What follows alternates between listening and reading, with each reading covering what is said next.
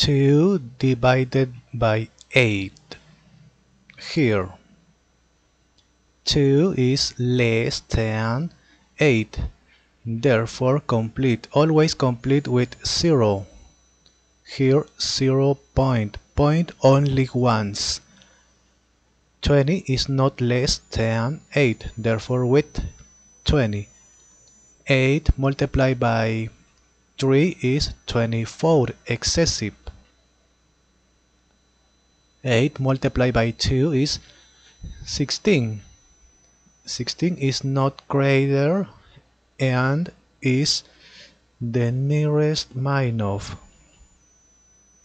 subtract. 20 minus 16 is 4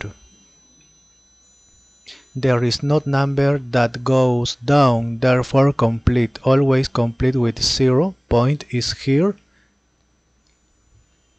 40 8 multiplied by 5 is 40 the nearest minus